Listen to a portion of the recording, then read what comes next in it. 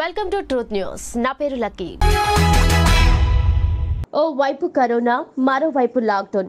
ఇంకోవైపు ఆంక్షలు. ఇలాంటి పరిస్థితుల్లో ఓ తల్లి మృతి చెందింది. ఆ తల్లి మృతదేహాన్ని ద్విచక్ర వాహనంపై కొడుకు ఇరవై కిలోమీటర్ల దూరం తీసుకెళ్ళాడు. శ్రీకాకుళం జిల్లా పలాసలో ఈ అమానుషుల ఘటన చోటు చేసుకుంది.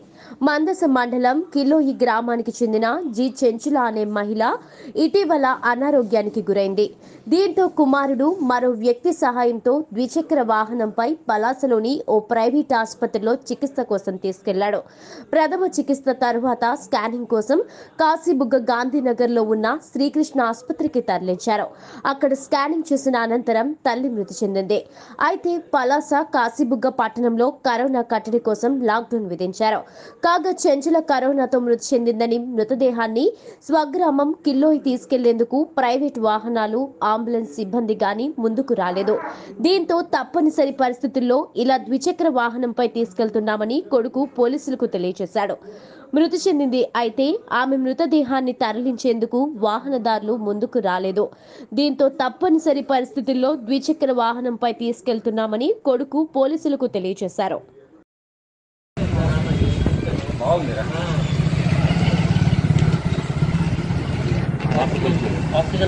ఎక్కడ చనిపోయారండి చనిపోయిరా చనిపోయిరా ఎక్కడ ఏ హాస్పిటల్? వచ్చినప్పుడు అక్కడ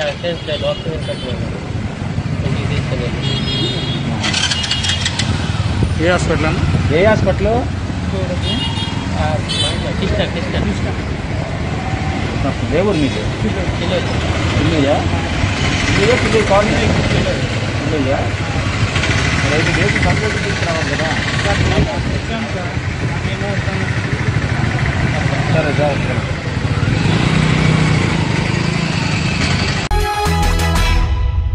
విశాఖ కేజీహెచ్లో హృదయ విదారక ఘటన చోటు చేసుకుంది.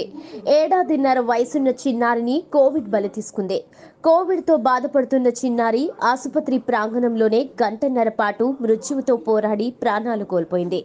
విశాఖ జిల్లా అచ్యుతాపురం మండలానికి చెందిన వీరబాబు జలుబుతో బాధపడుతున్న తన కుమార్తె జాహ్నవికను స్థానిక ఆసుపత్రికి తీసుకెళ్ళారు. అక్కడి వైద్యుల సూచనల మేరకు ఓ ప్రైవేట్ ఆసుపత్రిలో చేర్చారు. మూడు రోజుల పాటు చికిత్స అందించిన ఆసుపత్రి వైద్యులు కోవిడ్ బారిన పడి ఉంటుందని అనుమానం వ్యక్తం చేశారు. ఆర్టీపీసీఆర్ టెస్టు చేసాకే తరువాత వైద్యం అందిస్తామన్నారు. పాప పరిస్థితి గమనించిన అక్కడి వైద్యులు మెరుగైన వైద్యం కోసం మరో ప్రైవేట్ ఆసుపత్రికి తరలించారు. అక్కడ చిన్నారికి కరోనా నిర్ధారణ కావడంతో చికిత్స అందించలేమని అక్కడి వైద్యులు చేతులెత్తేశారు. చేసేది లేక తల్లిదండ్రులు పాపను తీసుకుని విశాఖ కేజీహెచ్కు వెళ్ళారు. గంటన్నర పాటు నిరీక్షించిన పాపను ఆసుపత్రిలో చేర్చుకోలేదు. సకాలంలో వైద్యం అందించలేకపోవడంతో ఊపిరాడక ఉక్కిరి బిక్కిరి అవుతూ చిన్నారి ప్రాణాలు కోల్పోయింది. వైద్యులు సకాలంలో స్పందించి ఉంటే పాప బతికి ఉండేదని చిన్నారి తల్లిదండ్రులు ఆరోపించారు. ఇప్పుడు ఇక్కడ రోడ్డు మీదే వదిలేశారు పాపని. పట్టుకెళ్ళండి ఎవరైనా ఎన్ని సంవత్సరాలు అమ్మా ఎన్ని సంవత్సరాలు పాపకి? సంవత్సరాలన్నర కూడా రాలేదండి ఇంకా. ఇంకా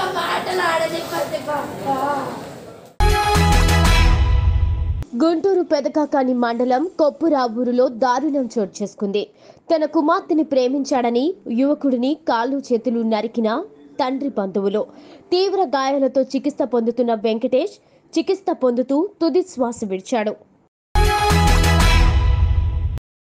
శ్రీకాళహస్తి ముక్కంటి ఆలయంలో ఇటీవల సప్త గోకులాన్ని ఏర్పాటు చేశారు. గోపూజ చేయించుకున్న భక్తులు గోవులను తాకి నమస్కరిస్తున్నారు. కరోనా విపత్కర పరిస్థితుల్లో గోవుల ద్వారా మరొకరికి వైరస్ వ్యాపించకుండా ఉండేలా ఎప్పటికప్పుడు ఆలయ పారిశుద్ధ్య సిబ్బంది చర్యలు తీసుకుంటుంది.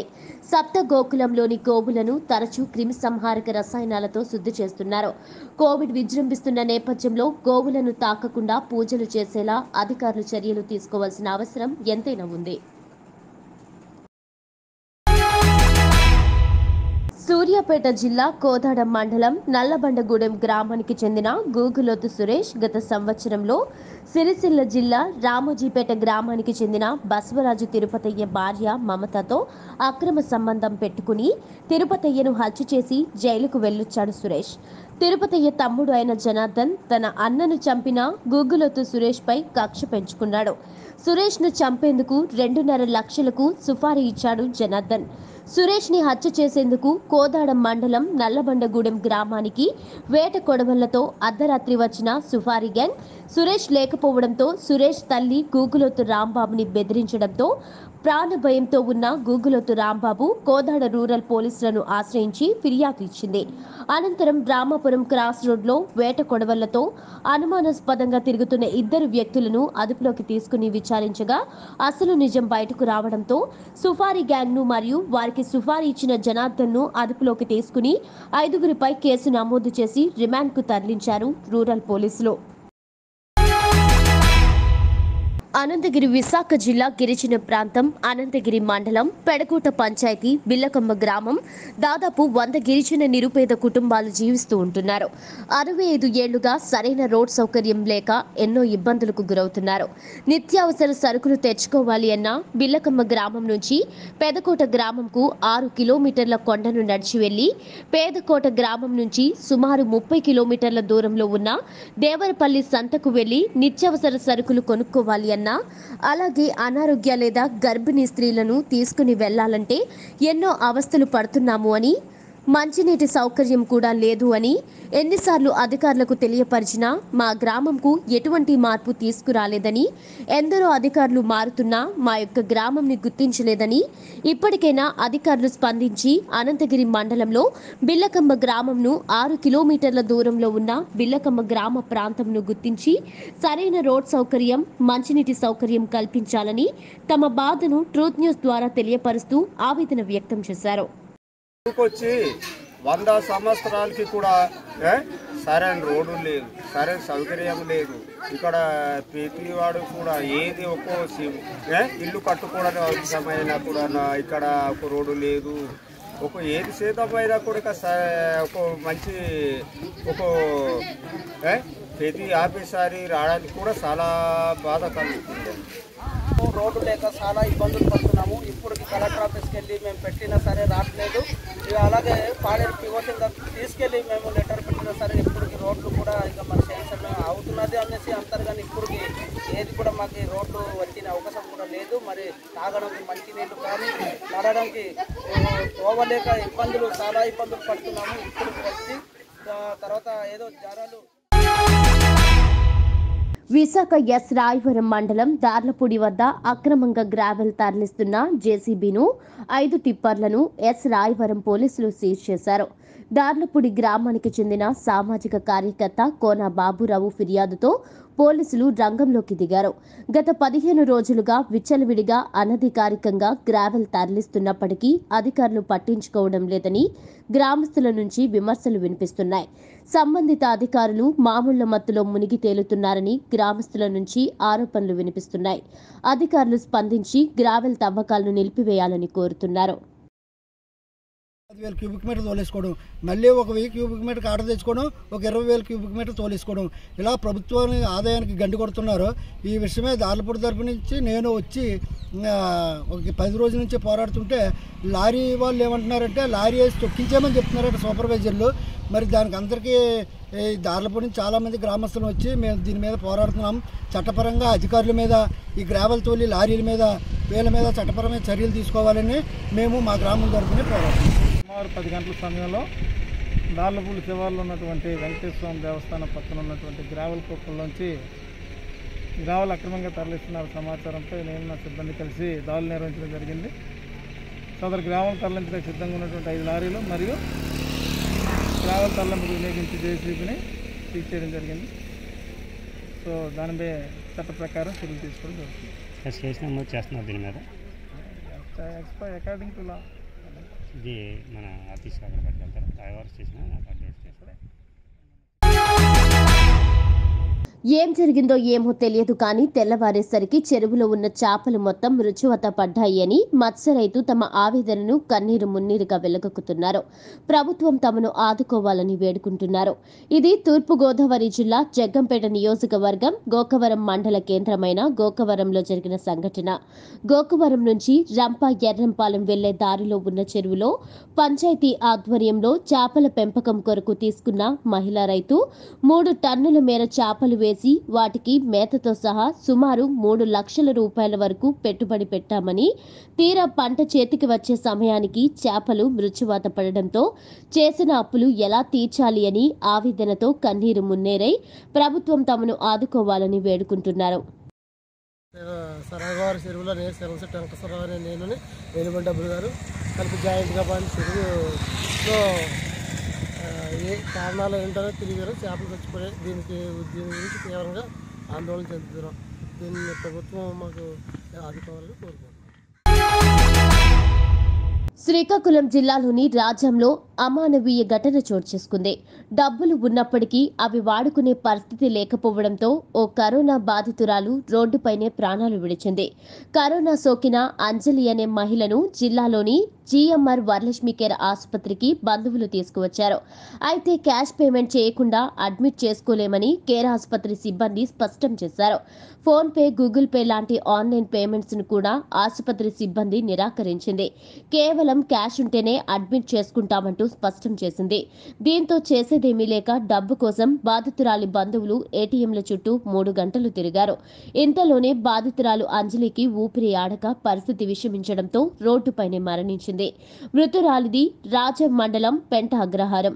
కేర్ ఆసుపత్రి సిబ్బంది వైఖరి పట్ల మృతురాలి బంధువులు ఆగ్రహం వ్యక్తం చేస్తున్నారు. ఈ ఘటన గురించి తెలుసుకున్న స్థానికులు ఆసుపత్రి తీరుపై ఆగ్రహం వ్యక్తం చేస్తున్నారు. డిజిటల్ ఇండియాలో భాగంగా ఆన్లైన్ పేమెంట్స్ ఎక్కువగా జరుగుతున్న ఈ కాలంలో ఇంకా క్యాష్ ట్రాన్సాక్షన్ మాత్రమే అంటూ ప్రజల ప్రాణాలు తీయడం ఏమిటని ప్రశ్నిస్తున్నారు. వన్ జీరో ఎయిట్కు కాల్ చేసినా స్పందించలేదంటూ ప్రభుత్వంపై కూడా మండిపడుతున్నారు. మా అమ్మగారు అవుతారు ఆవిడ. తొమ్మిది గంటలకు కేర్ హాస్పిటల్ తీసుకొచ్చాను అంటే మా మేము హెల్త్ ఎంప్లాయీని. మా దగ్గర ఆర్టీసీ చేయించాను. పాజిటివ్ వచ్చిందని జాయిన్ చేయడం తీసుకొచ్చాను. క్యాష్ అవుతుంది అన్నారు సరే ఆరోగ్యశ్రీ లేదు ఆవిడకి. క్యాష్ అవుతుందంటే సరే అన్నాను. కానీ లిక్విడ్ క్యాషే కావాలంటున్నారు ఇప్పుడు. ఇది ఫోన్పే కానీ కార్డు కానీ అలో చేయరంట. లిక్విడ్ క్యాష్ ఏటీఎం వెళ్ళి వెళ్ళి వచ్చేప్పటికి ఊపిరాడు చనిపోయారు ఆవిడ. టూ అవర్స్ బట్టి ఇక్కడ ఉందంట? ఆవిడ గంటన్నర నుంచి బతికే ఉంది. జస్ట్ చనిపోయి ఇప్పుడు పహాయితే పదిహేను నిమిషాలు అవుతుంది. ఎవరు పట్టించుకోలేదు సార్. అయితే మాదైతే ఇది లోకల్ కాదు మాది బొబ్బి మాది. ఇక్కడ వేరే పని మీద వచ్చామన్నమాట మేము. చూసి చూసి ఆగామన్నమాట. అది. అసలు ఎవరు అసలు పట్టించుకోలేదు సార్? అక్కడ అడిగితే మాకు సంబంధం లేదు చెప్పారు సార్ వన్ జీరో ఎయిట్కి ఫోన్ చేస్తామో వాళ్ళు కూడా ఇంతవరకు రాలేదు. నేను ఎలా వస్తున్నాను ఆవిడ అలా పడిపోయి చనిపోయారు అన్న ఏమైందో కనుక్కున్నామని వెళ్ళేసరికి మేము ఇద్దరు రెండు సార్లు ఇలా కొట్టుకొని చనిపోయారు. ఏమైందో అంకుల్ వచ్చారు వెంటనే. వీళ్ళందరూ వచ్చేసరికి ఇతనే చెప్తున్నారు ప్రత్యక్ష సాక్షి. అతను రెండు గంటల నుంచి ఆవిడ చూస్తున్నారు. అలా కొట్టుకుంటున్నా ఏం పట్టించుకోవట్లేదంట ఆవిడ. ఈ హాస్పిటల్లో ఏం పట్టించుకోవట్లేదంట. వీళ్ళు వీళ్ళకి కా వీళ్ళకి ఓన్లీ లిక్విడ్ క్యాషే కావాలంట. ఫోన్పే వద్దంట స్వైపింగ్ వద్దంట. ఆ అంకులు అప్పటికి కార్డులన్నీ పట్టుకొని మొత్తం అంతా తిరగడానికి వెళ్ళారు. రాజు అంతా తిరగడానికి వెళ్తే ఎక్కడ ఏటీఎంస్లో డబ్బులు లేవు. అంతా తిరిగి వచ్చేలోపు ఆవిడ చనిపోయారు. ఇప్పుడు పరిస్థితి ఏంటన్నా? ఆవిడ పాజిటివ్ నెగిటివ్ కూడా తెలియదు ఆవిడకి అసలు. పాజిటివ్ నెగిటివ్ కూడా తెలియదు అసలు జాయిన్ చేసుకోవడం కారణం ఏంటి అసలు? వీళ్ళకి ఎంతమంది అక్కడ చూడన్నా వీళ్ళ కార్లన్నీ ఆపేసి ఎంతమంది నుంచి వస్తున్నారు? ఈ దౌర్జన్యం అసలు. రాష్ట్రంలో కరోనా రోజు రోజుకి విజృంభిస్తున్న తరుణంలో పది ఇంటర్మీడియట్ విద్యార్థులకు పరీక్షలు రద్దు చేసి వారిని ప్రమోట్ చేయాలని ఎస్ఎఫ్ఐ జిల్లా కార్యదర్శి సగిలి రాజేంద్ర ప్రసాద్ జిల్లా సహాయ కార్యదర్శి వీరపోగు రవి ప్రభుత్వాన్ని డిమాండ్ చేశారు. కడప జిల్లా పోరుమామిళ్ళలో వారు విలేకరులతో మాట్లాడుతూ రాష్ట్ర వ్యాప్తంగా రోజురోజుకు కరోనా కేసులు పెరుగుతున్న సమయంలో పది ఇంటర్మీడియట్ మొదటి సంవత్సరం పరీక్షలు రద్దు చేసి రెండవ సంవత్సరం విద్యార్థులకు వాయిదా వేయాలని వారు ప్రభుత్వాన్ని కోరారు. అలా కాకుండా విద్యార్థులకు పరీక్షలు నిర్వహించాలని ప్రభుత్వం నిర్ణయించుకోవడం చాలా దారుణమని వారు అన్నారు. రాష్ట్రంలో ఇప్పటికే ఉపాధ్యాయులకు విద్యార్థులకు అధిక సంఖ్యలో చాలా వేగంగా కరోనా వ్యాపిస్తున్న సమయంలో పరీక్షల నిర్వహణ అనేది సరైన నిర్ణయం కాదని వారు అన్నారు. ఇప్పటికే జిల్లా వ్యాప్తంగా చాలా మంది ఉపాధ్యాయులు కరోనా బారిన పడి మృతి చెందారని వారు తెలియజేశారు. రాష్ట్రంలో పదవ తరగతి ఇంటర్ పరీక్షలకు ఇప్పటికే షెడ్యూల్ ప్రకటించారని కానీ కేసుల తీవ్రతను దృష్టిలో పెట్టుకుని నిర్ణయం తీసుకోవాలని వారు తెలిపారు. ఇప్పటికే సిబిఎస్ ఈ పరీక్షను కేంద్రం రద్దు చేసిందని దాదాపు పదకొండు రాష్ట్రాల ప్రభుత్వాలు పదవ తరగతి పరీక్షలను రద్దు చేశాయని వారు తెలిపారు. మన రాష్ట్రంలో పరీక్షలు జరుగుతాయా లేదా అనే సందిగ్ధంలో విద్యార్థులు ఉన్నారని ఒకవేళ పరీక్షలు జరిగితే ఎలా రాయాలి అనే భయాందోళనలో వారిలో ఉన్నాయని వారు అన్నారు. ఇప్పటికే విద్యాశాఖ మంత్రి రెండు సార్లు పరీక్షల షెడ్యూల్ ప్రకారమే జరుగుతాయని చెప్పడంతో పరీక్షల సమయంలో కరోనా వ్యాపిస్తుందనే భయంతో విద్యార్థులు మరియు వారి తల్లిదండ్రులు అభిప్రాయపడుతున్నారని వారు తెలిపారు. ఈ గందరగోళాల మధ్య చివరికి విద్యార్థి మానసికంగా ఒత్తిడికి లోనవుతున్నారని వారు అన్నారు. కావున ఇటువంటి పరిస్థితుల్లో వెంటనే విద్యార్థుల ఆరోగ్యాలను దృష్టిలో ఉంచుకుని పదవ తరగతి ఇంటర్ మొదటి సంవత్సర పరీక్షలను రద్దు చేయాలని ఇంటర్ రెండవ సంవత్సర పరీక్షలు వాయిదా వేయాలని భారత విద్యార్థి ఫెడరేషన్ డిమాండ్ చేస్తుందని వారు తెలిపారు. ఈ కార్యక్రమంలో ప్రశాంత్ పండు బాబు పాల్గొన్నారు. రాష్ట్రంలో పదవ తరగతి ఇంటర్మీడియట్ పరీక్షలను వెంటనే రద్దు చేయాలని చెప్పి ఎస్ఎఫ్ఐగా మేము డిమాండ్ చేస్తా ఉన్నాం. ఎందుకంటే రోజు రోజుకి రాష్ట్రంలో జిల్లాలో దేశంలో కోవిడ్ కేసులు విపరీతంగా పెరిగిపోతున్నటువంటి తరుణంలో రాష్ట్రంలో పది ఇంటర్మీడియట్ విద్యార్థులకు ఎగ్జామ్స్ నిర్వహించాలనుకోవడం చాలా దుర్మార్గమైన ఆలోచనగా మేము భావిస్తూ ఉన్నాం. ఎందుకంటే ఇప్పటికే కేసులు రోజుకు దాదాపు మూడు లక్షల దాకా కేసులు నమోదవుతూ ఉన్నాయి. ఒక పక్క పేషెంట్లని జా అడ్మిట్ చేసుకోవడానికి కూడా హాస్పిటల్లో ఖాళీ బెడ్లు లేని లేని పరిస్థితి ఈరోజు మన రాష్ట్రంలో ఉంది దేశంలో ఉంది. కాబట్టి తక్షణమే ఈ పది ఇంటర్ డిగ్రీ ఇంటర్మీడియట్ వాళ్ళకి ఎగ్జామ్స్ నిర్వహించుకోవాలని ఆలోచన చేయడం ప్రభుత్వాన్ని మేము తీవ్రంగా ప- తప్పుకొడతా ఉన్నాం. కాబట్టి వెంటనే ప్రభుత్వం పది ఇంటర్మీడియట్ పరీక్షలు రద్దు చేయాలని చెప్పి మేము డిమాండ్ చేస్తూ ఉన్నాం. ఎందుకంటే గతంలో తిరుపతి ఉప ఎన్నికల సందర్భంగా రాష్ట్ర ముఖ్యమంత్రి జగన్మోహన్ రెడ్డి గారు ఉప ఎన్నికల ప్రచారానికి పోకుండా వాయిదా వేసుకోవడం జరిగింది. దీనికి గల ప్రధాన కారణం ఏంటంటే కోవిడ్ పెరిగిపోతున్న ఒకే ఒక ఆలోచనతో ఆ రోజు ఉప ఎన్నికల ప్రచారం వాయిదా వేసుకోవడం జరిగింది. కాబట్టి నేను జగన్మోహన్ రెడ్డి గారిని మేము ఈ సందర్భంగా ప్రశ్నిస్తూ ఉన్నాం. ఎందుకంటే దాదాపు రాష్ట్రంలో పదహైదు లక్షల మంది విద్యార్థులు ఈరోజు పరీక్షలకు అటెండ్ కావాల్సిన పరిస్థితి మన రాష్ట్రంలో ఉంది. అలాంటి పరిస్థితుల్లో పదహైదు లక్షల మంది విద్యార్థులు ఈ పరీక్షలకు హాజరైతే ఈ కోవిడ్ ఇంకా ప్రబలే అవకాశం ఉంది. కాబట్టి ఒకసారి ఆలోచించి మీరు మొండిగా వ్యవహరించకుండా తక్షణం పది ఇంటర్మీడియట్ పరీక్షలు రద్దు చేయాలని చెప్పి డిమాండ్ చేస్తూ ఉన్నాం పన్నెండు లక్షల మంది విద్యార్థులు ఎగ్జామ్స్ రాస్తా ఉంటే వాళ్ళకి అవసరమైనటువంటి సిబ్బంది అయితేనేమి ట్రాన్స్పోర్ట్ అయితేనేమి ఇలా ప్ర- ప్రపక్షంగా దాదాపు ముప్పై లక్షల మంది ఈ పరీక్షల విధులకు హాజరయ్యే అవకాశం ఉంది. కాబట్టి ముప్పై లక్షల మంది మొత్తం ఒకేసారి పోయి ఈ విధుల్లో ఉండడం వల్ల కోవిడ్ పాజిటివ్ కేసుల సంఖ్య పెరిగే అవకాశం ఉంది. కాబట్టి తక్షణం ఈ పరీక్షలు రద్దు చేయాలా? లేదంటే వాయిదా వేయాలని చెప్పి మేము భారత విద్యార్థి ఫెడరేషన్ ఎస్ఎఫ్ఐగా డిమాండ్ చేస్తా ఉన్నాం.